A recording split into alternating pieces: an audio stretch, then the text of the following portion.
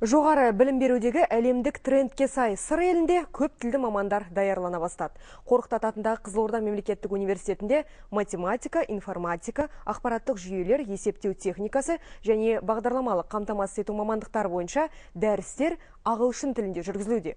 Бұл жас маман үшін әрине өте тиімді. Елбасы айтқандай, елдің қуаты ең алдымен азаматтарының білімімен өлшенеді. Сондықтан да жас мамандарды бәсекеге қабілетті ету уақыт талабы. Көп тілді мамандар даярлау жобасы негізінде өңірдегі іргелі білім ошағында қазір 5 мамандық бойынша дәрістер ағылшын тілінде беріледі.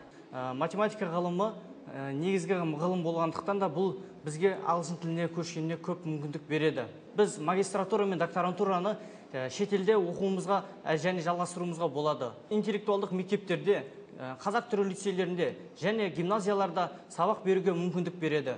Азаматқа және оның өзге замандастар үшін әрине бұл үлкен мүмкіндік. Студенттерге дәрісті әлемнің айтулы университеттерінің оқытушылары береді.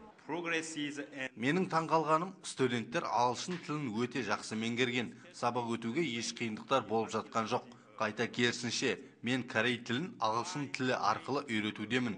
Көп тіл білгенге не жетсін? Жаңа экономикалық талаптарға сай сапалы мамандар даярлау бағытындағы жұмыстар өз нәтижесін беруде. Бұл әлемдік білім беру кеңістігіне кірігудің кепілі әрі студенттердің өзіне қажетті ақпараттарға қол жеткізуін қамтамасыз ету болып табылады. Жалпы қазақстанның білім беру жүйесі соңғы жылдары оң бетбұрыс жасауда. Әлемдік көштен қалысар емес. Біз қазақ елмен байланыс жасай отырып тәжірибе алмасуға ерекше ықылас танытамыз. Менің келгенім кеше. Енді осындағы студент жастарға ағылшын тілін терең меңгеруге көмектесемін. Рахмет. Көп тілді меңгерген өндіріс пен нарықтың өзгермелі жағдайына бейімделген жас мамандар еліміздің игілігіне жұмыс жасайтын болады. Таяуда университетте педагогикалық мамандықтарды да ағылшын тілінде оқыту қолға алынбақ. Қызылордадан ақерке берікбекқызы нұрлыбек нұрмахан қазақстан ұлттық телеарнасы.